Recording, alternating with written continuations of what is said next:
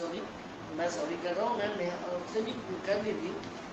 दोस्तों आपको बताते चलें कि नेहा खान जो कि दानिश मकसूद से इस बात के लिए नाराज़ नज़र आ रही हैं कि फिनाले के रोज़ दानिश मकसूद ने मेरे और उमर शहजाद के रिलेशनशिप का बहाना बना। सबके सामने बहुत ही ज़्यादा चीप मज़ाक किया था उन्हें ये बात बिल्कुल भी पसंद नहीं आई थी। और अनुभव रीति उसमें जुनेद भी था फिर फिनाले के बाद हम लोग एक जगह बैठे भी एक साथ और हमने ज्वाइन किया सबको सबने एक दूसरे के साथ मतलब हँसी मज़ाक भी किया अरूबा को बीट भी किया अरूबा को छेड़ा भी अरूबा से बड़ा पार्टी दो।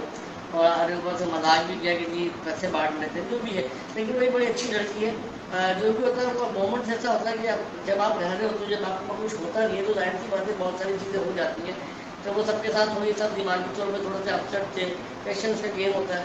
तो किसी का पेशेंस कोई बर्दाश्त कर देता है, कोई नहीं बर्दाश्त कर पाता बंदे का अपना अपना होता है। तो वैसे मतलब शुरू में मेरे भी जुनेद से हुआ था कुछ ना। फिर उसके बाद जुनेद से मेरी बड़ी अच्छी दोस्ती हो गई जुनेद से मेरी बड़ी मोहब्बत हो गई। अली भाई से मेरी शुरू दिन से बड़ी मोहब्बत थी अली भाई ने बड़ा समझाया, भी मैंने अली भाई को समझाया। आज यकीन करें कि हम अंदर जा जाके रोते भी थे एक दूसरे नरेशन भी करते थे। घर वाले भी आ जाते थे, बेटी भी आ जाती थी। क्योंकि ना फ़ोन था, ना कोई घड़ी थी।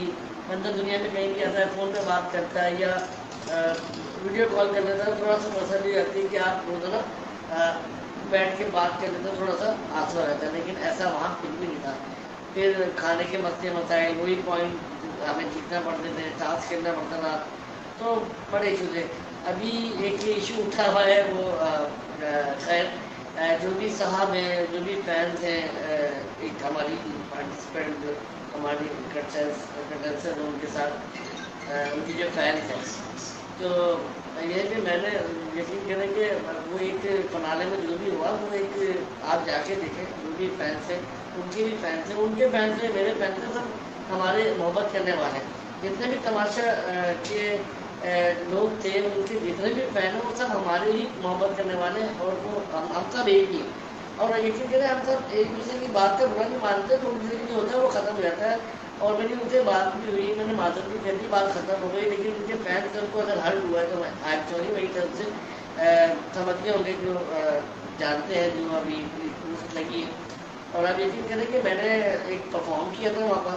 चैनल ने मुझे बोला था, और मेरे नाम दिए थे, और वो नाम जो दिए थे मैंने उसमें परफॉर्म किया। वो पाँच मिनट की मैं में परफॉर्मेंस थी, और उसमें कोई ऐसी ऐसा कोई चीज़ नहीं थी जो बुरा मानने वाली हो लेकिन अगर फिर भी उनके पेरेंट्स को बुरा लगा हो, या मेरी कोई बार हर्ट की हो तो please I am very sorry मैं सॉरी कर रहा हूँ मैम मैं उससे भी कर ली थी.